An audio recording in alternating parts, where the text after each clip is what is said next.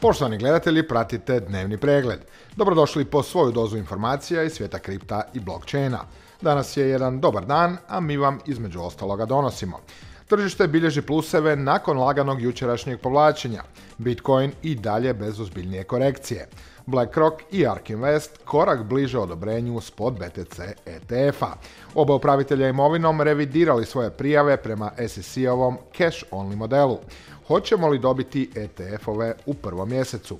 CEO Grayscale-a prognozira ulazak bilijuna dolara u kripto.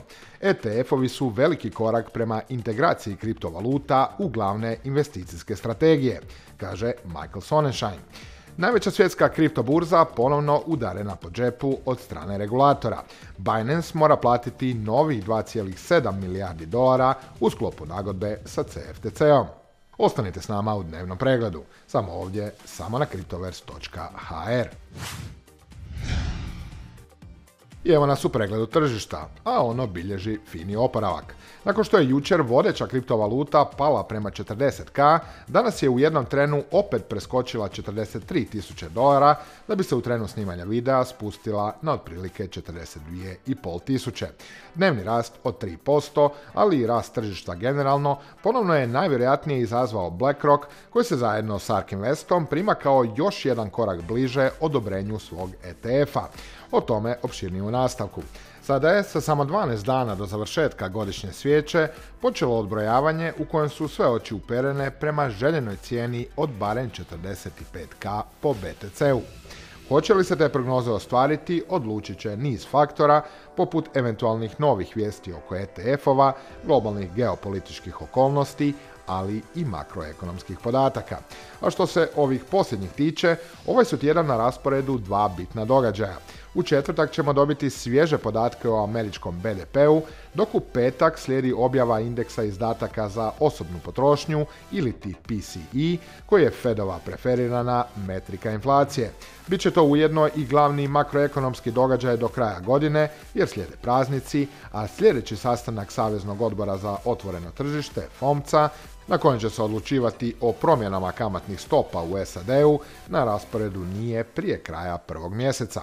Treba reći kako se tržišta sve više zabavljaju izgledima da će zaokret u monetarnoj politici Feda postati stvarnost sljedeće godine. Doduše, najnoviji podaci iz Fed alata CME grupe trenutno stavljaju izglede za smanjenje stopa na sljedećem sastanku tek na oko 10%. Još jedan podatak koji bi mogao gurnuti kripto jest i onaj koji kaže da je snaga dolara ili ti Dixi dosegla više mjesečne najniže razine, što naravno ide u prilog rastu cijena digitalne imovine. Dakle, sve u svemu, unatoč laganim povlačenjima, Bitcoin odbija napraviti bilo kakve veće korekcije, dok spot BTC ETF-ovi ostaju na horizontu. No treba reći i da će do korekcije u jednom trenu sasvim sigurno morati doći. Da pače, BTC će na kraju vjerojatno pretrpjeti više od jedne pristojne korekcije od 30 do 40% kako se bude razvijalo tržište bikova. Ali to je potpuno normalno i zdravo.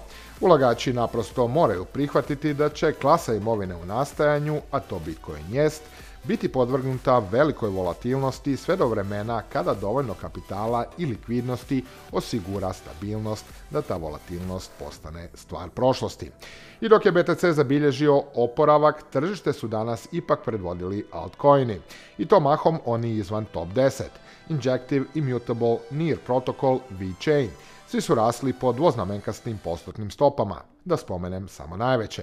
A tu pak treba izdvojiti Injective, koji je bio skočio na rekordnih 39 dolara 15 centi i time zabilježio rast nešto manji od 3000% tijekom 2023. Inače, za vašu informaciju, mnogo projekata na Injective koji kombinira elemente umjetne inteligencije sa decentraliziranim financijama je potvrdilo airdropove, pa čisto provjerite a od altova u top 10 najveći rast bilježi BNB, slijedi Solana, a i ostatak velikih je u zelenom. Dobre vijesti koje su, kao što sam spomenuo, bile najvjerojatniji razlog povratka optimizma na tržište jesu one da su BlackRock i ARK Invest revidirali svoje prijave prema SEC-ovom cash-only modelu. Dakle, ove nove izmjene i dopune se odnose prvenstveno na model otkupa dionica predloženih ETF-ova. Naime, prema novom modelu, koji očito zahtjeva SEC, otkup dionica će se vršiti u gotovini umjesto u naturi, pri čemu bi natura podrazumijevala nenovčana plaćanja poput onih BTC-om. Doduše, oba financijska diva spominju i potencijalni otkup u naturi, ali podložno eventualnom regulatornom odobrenju.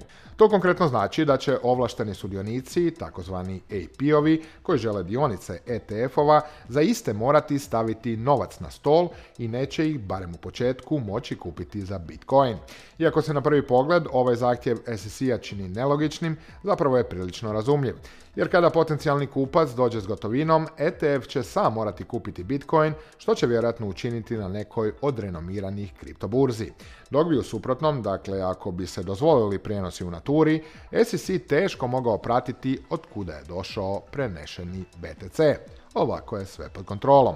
Prema analitičaru Bloomberga, Eriku Balkunasu, ovo je vrlo pozitivan signal koji govori da SEC nikako nije isključio odobrenje ETF-ova u prvom mjesecu, s obzirom da aktivno sudjeluje u raspravama i daje smjernice ponuditeljima.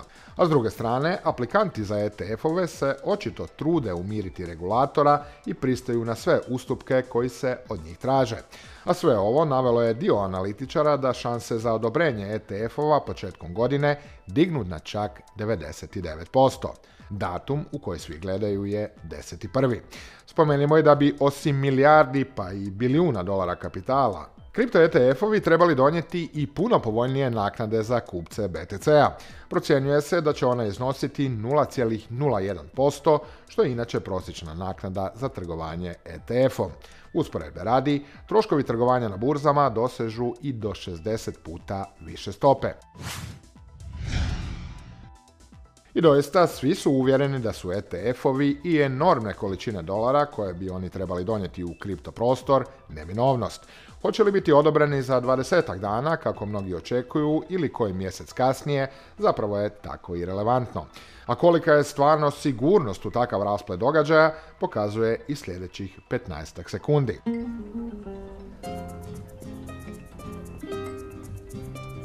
You know what's interesting these days? Bitcoin. Look for Bitwise, my friends. Dakle, jedan od aplikanata, Bitwise, krenuo je sa prvom ETF reklamom, a oni, ETF-ovi, mogli bi posve redefinirati putanju digitalne imovine u nadolazećim godinama, ili preciznije lansirati je u sam mainstream. Pa što će to značiti za tržište kada jednom ETF-ovi doista budu odobreni? Koliku će lovu donijeti kriptu?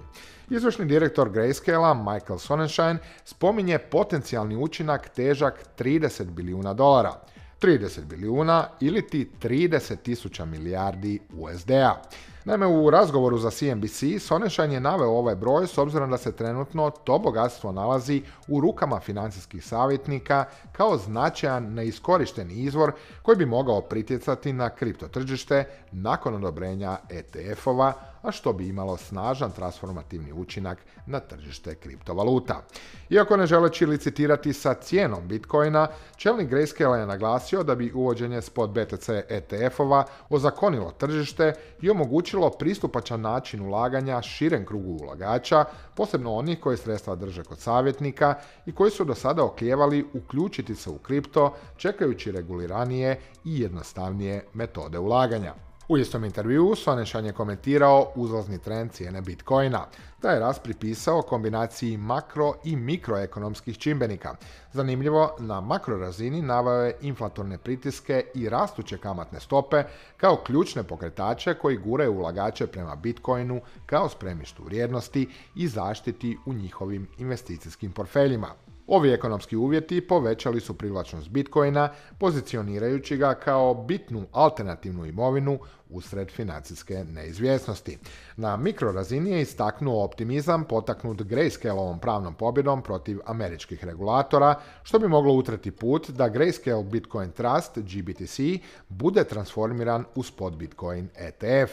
Ako se taj scenarij ostvari, očekuje se da će ovaj razvoj značajno utjecati na raspoloženje ulagača i šire prihvaćanje Bitcoina na financijskim tržištima, što je veliki korak prema integraciji kriptovaluta u glavne investicijske strategije, kaže Sonnenschein. Novi tjedan, nova nagodba Binance i američkih vlasti. Ovaj puta još uvijek najveća svjetska kriptoburza mora iskeširati 2,7 milijardi dolara kako bi zaključila slučaj koje je pokrenuo CFTC ili ti komisija za trgovanje robnim ročnicama. Nagodba naime zahtjeva da Binance plati kaznu od 1,35 milijardi dolara kao i predaju identičnog iznosa, a u vidu naknada za nezakonite transakcije. Bivši šef Binance-a CZ se pak suočava s kaznom od 150 milijuna dolara. Odobrena nagodba označava završetak dugotrajnog slučaja protiv CZ-a i Binance-a od strane CFTC-a. Agencija je tužila izvršnog direktora i njegovu burzu 27.3. zbog izbjegavanja saveznog zakona i vođenja ilegalne burze derivata. CFTC smatra da je burza aktivno tražila kupce iz SAD-a koji su potom sakrili svoju prisutnost na platformi, dok im je Binance pomagao da izbjegnu kontrole usklađenosti. Kao dio nagodbe, Binance će poduzeti dalje korake kako bi osigurao održavanje mjera Know Your Customer na burzi i implementirati formaliziranu strukturu korporativnog upravljanja, uključujući upravni odbor, odbor za usklađenost i odbor za reviziju. Podsjetimo je da je CZ 21.11. pristao odstupiti sa svoje uloge čelnika Binance-a u sklopu šire nagodbe sa Ministarstvom pravosuđa, Ministarstvom financija i CFTC-om. Binance je tom prilikom kažnjen s rekordnih 4,3 milijarde dolara. Istog dana Sizi se izjasnio krivim za nekoliko građanskih optužbi i jednu kaznenu prijevu koja se odnosi na zakone protiv pranja novca. Bivšem čelniku Binance je naređeno da ostane u SAD-u do izricanja presude 23.2.2024. Prijeti mu do 18 mjeseci zatvora, ali je odlučio da se neće žaliti ni na jednu potencijalnu kaznu do te duljine. Sizija je na mjestu izvršnog direktora naslijedio Binanceov bivši globalni voditelj regionalnih tržišta Richard Tang. Sad se još čeka i eventualna nagodba sa ACC-om i vjerojatnih dodatnih par milijardi u američki proračun. I s ovom nagodbom Binance-a došli smo do kraja još jednog dnevnog pregleda. Ako ste izdržali s nama, stisnite like, komentirajte video, a neće biti loše ni ako kliknete subscribe. Pratite nas i na našim društvenim mrežama, a prije svega na portalu cryptoverse.hr. Lijep pozdrav!